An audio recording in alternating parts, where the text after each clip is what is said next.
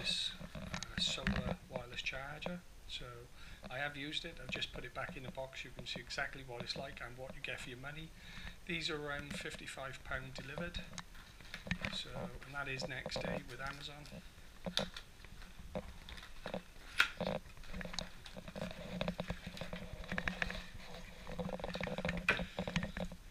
Some instructions which are really, really small. You've got a job to see them.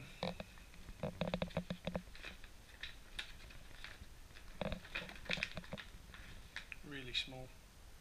So that. A little strap that goes on the back. You only get one USB lead. And this is the device itself. So that's it. Really rugged. If you drop it, you'll be okay. It's IP66, I think it is. Let's have a look. Where was it?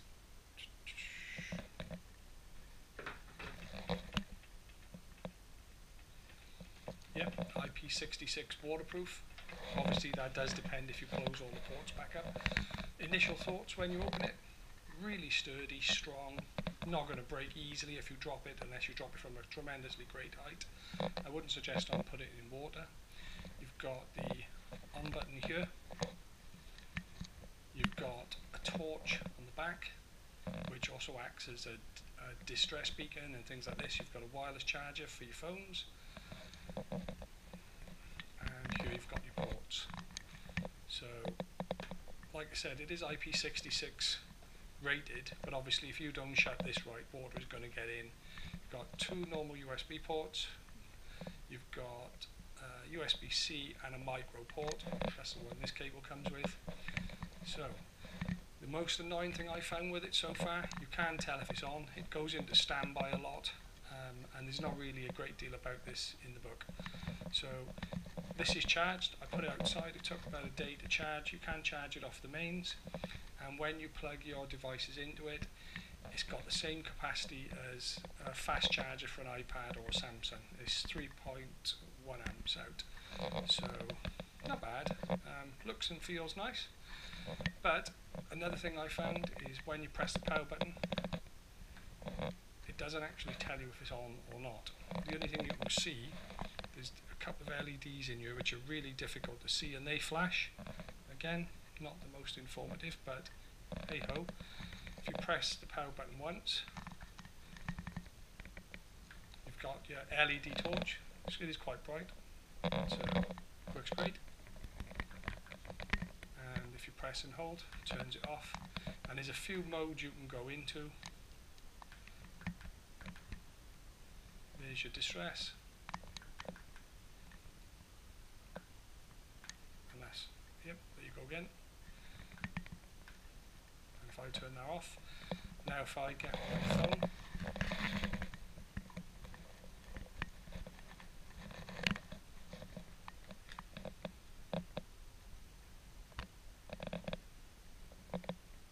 not the most informative is it? So if I press once, see the little red dot? It's wirelessly charging but until I played played with it a bit, you wouldn't realise. So that's charging fine, and that's because of that red dot. And it's gone off now. It's detected. It's gone away from it. I've got some leads here, so if I plug this one in here, get my iPad.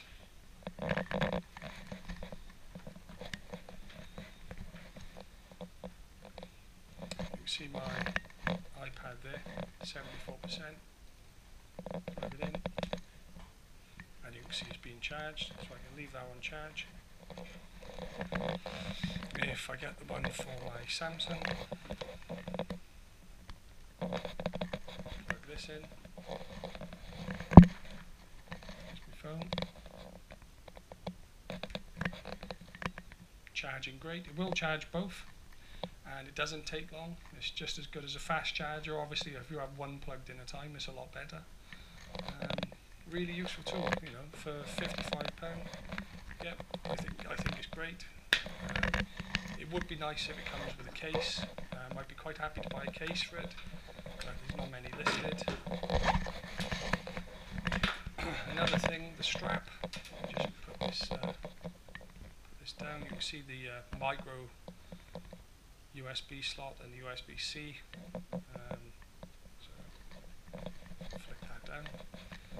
The other thing, this is what comes with it. It goes in there, comes round, and you can hang it on your backpack or you could do whatever. But this is quite weighty.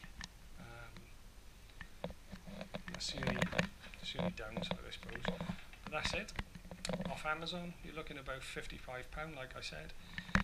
26 watt, well, you won't get that. Um, and it doesn't give an indication of much on, off. I mean, these lights here, which I said flash, you can barely see them through through the little, little screen here. You can barely see them. Um, really, do I think it's worth the money? Yes. Um, especially if you're out and about, you're going to be out all day. I mean, I've got a drone. You can charge your remote off your drone for it. You can charge your phone at the same time. You can charge your GoPro. There's a lot of you know. There's a lot of things you can do with it. So I hope you enjoyed the vid. Don't forget to like and subscribe. And thanks for watching.